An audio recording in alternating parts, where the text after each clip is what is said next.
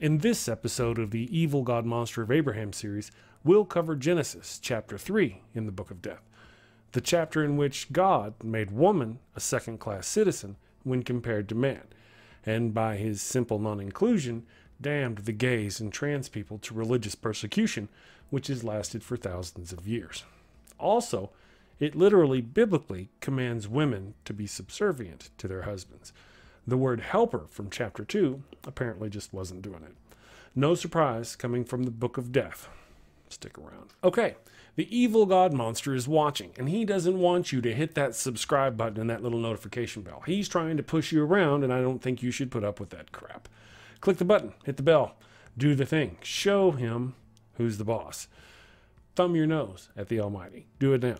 And now, on with the show. Special thanks to my patrons, merch buyers, and those friends out there who provide moral support. You guys are wonderful. Thank you. Okay, chapter 1 gave us a wide angle view of creation, and chapter 2 narrowed the focus a bit, giving us an idea of how everything comes about. Chapter 3 picks up there and gives us an up close and personal view, really, of the fall of woman. Oh, they call it the fall of man, but really, Man was just a spineless onlooker who apparently did nothing to protect the innocent Eve from the serpent. Then he tossed her ass under the god bus so fast she didn't even have time to read the license plate. And while we're here at the beginning of chapter 3, I want to mention that there's no clue given as to how long they dwelt in the garden, these naked apes locked in the god monster zoo, before the serpent came along and freed them. I mean, chapter 2 ends with Adam and Eve getting created and dropped in the garden. Then chapter 3 opens with the serpent coming in. Did they get any quality time at all with the Almighty before everything went to hell? Oh, wait, hell didn't exist, so scratch that part. Did they exist for blissful centuries, walking around naked in the garden with their junk hanging out, enjoying the shining love of the Almighty God? Did God walk around with his junk hanging out? Hmm. Doesn't say, but you have to wonder whether or not he was circumcised, right? As much fuss as he makes about such things. Questions, pesky questions. Maybe that's why they hate questions. And is being naked good or bad in God's eyes? Most religions would have you believe exposing your naked body is a horrible, horrible thing.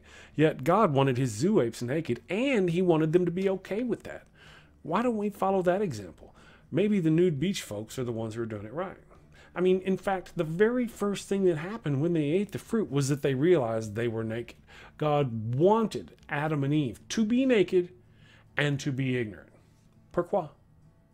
And if it's wrong to look upon naked people, why did God wish to do it so badly?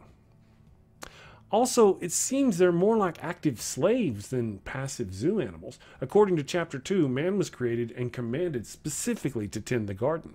Genesis 2, verses 15 says, The Lord God took the man and put him in the garden of Eden to work it and to take care of it. Two people kept naked and secluded and expected to toil for their slave master, the evil god monster of Abraham, presumably for all eternity, kind of sounds like slavery in perpetuity to me. I mean, there are many ways to describe what we're reading in Genesis 3, but this description seems to be one of the more accurate.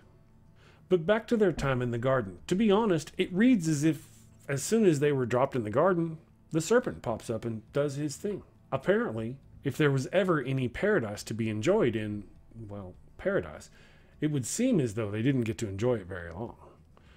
So Eden was built to sit empty all this time. Wouldn't God know that?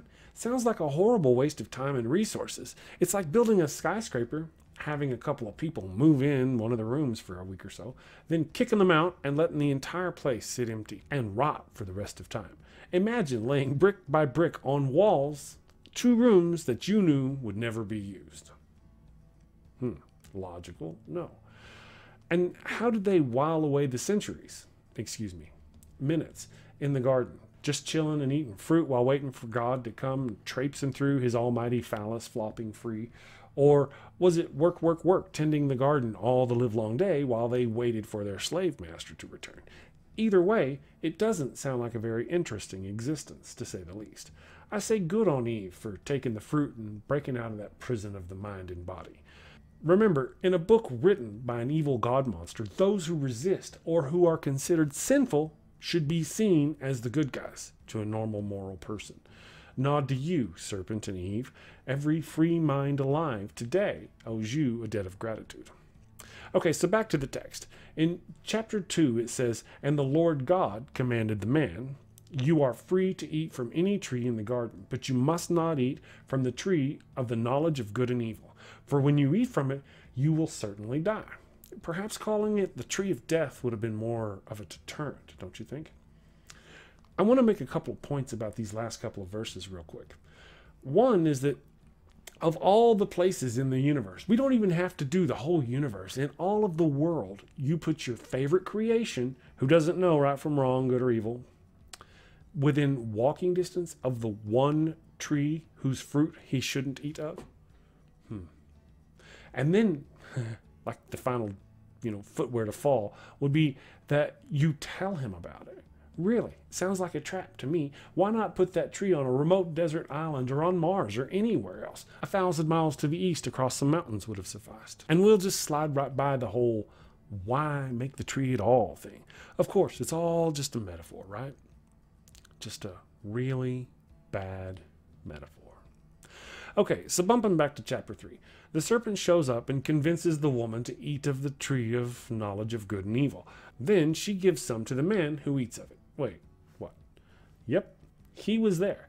But there's no mention of any attempt on his part to stop her or in any way dissuade her from eating of the fruit. Chapter 3, verse 6 ends with She also gave some to her husband, who was with her, and who ate it.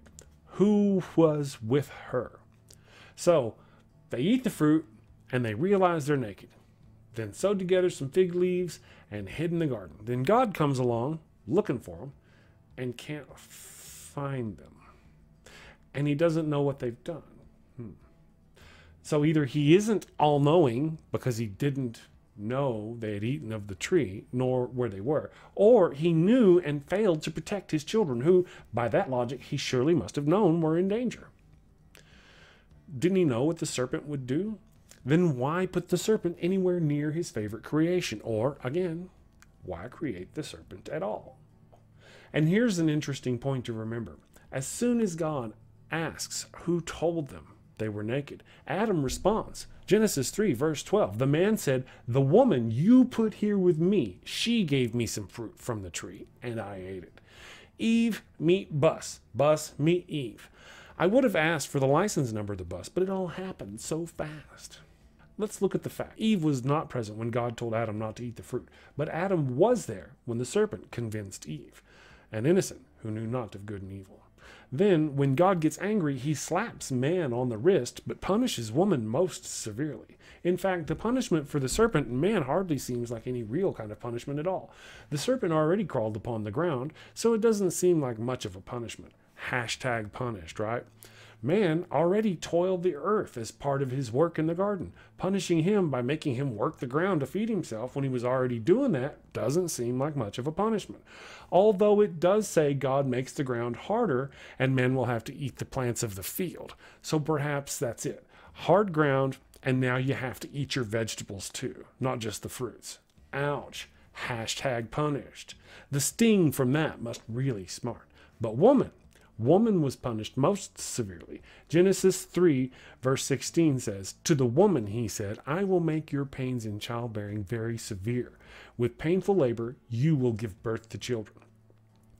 Your desire will be for your husband, and he will rule over you. Apparently, her desire for her husband and his rule over her is punishment. It's a punishment, not something to be considered a joy. You just saw it there yourself. Go read the book.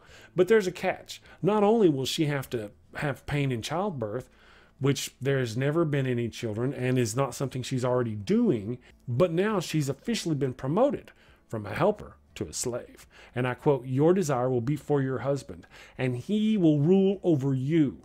Rule over you. And it's not like woman doesn't have to work the ground to eat and she doesn't have to eat vegetables too, right? So she suffer his fate and fears but he doesn't have to suffer hers. And how does this all affect the gays and transgendered people?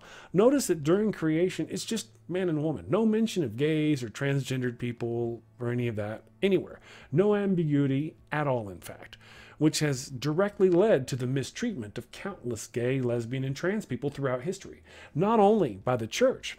But by complete strangers and even their own families, often using the battle cry of Adam and Eve, not Adam and Steve. On the news, for example, how many times have you heard of a gay or trans person been beaten to death by some religious nutbag? And it happens all over the world. From Africa to Alabama, people are killed for the type of person they love or for the non standard configuration of their genitalia. Surely an all knowing, all loving God would have known about the gays and trans and loved them, right? Nope. This is absolutely typical of the evil God monster of Abraham. No mention of them, so they don't exist, which many believers apparently take to mean they shouldn't exist.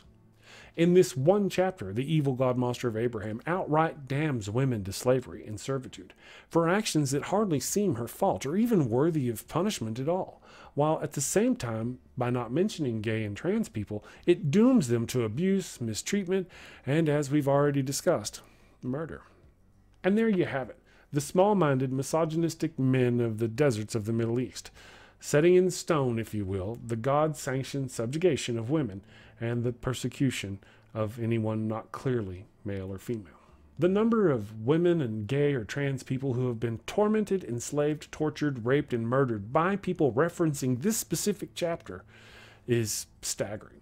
No surprise coming from the evil God Monster's Book of Death. Remember, give the finger to the evil God Monster and hit that subscribe button and notification bell. Thank you, and take care.